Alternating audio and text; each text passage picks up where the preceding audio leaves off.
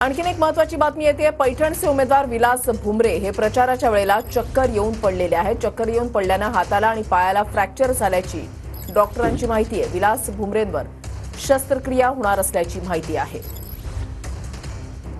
बाजूला हाताला आणि पायाला फ्रॅक्चर आहेत.